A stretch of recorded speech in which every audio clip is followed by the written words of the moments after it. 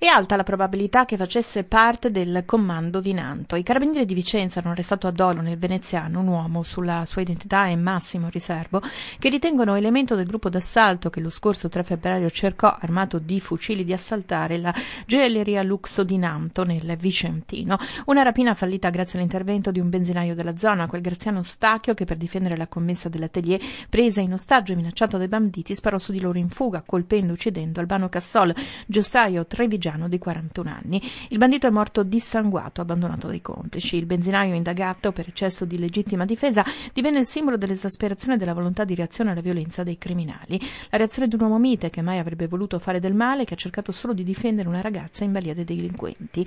Il suo sostegno furono realizzate delle magliette con la scritta Io sto con Stacchio, una t-shirt indossata anche da Matteo Salvini.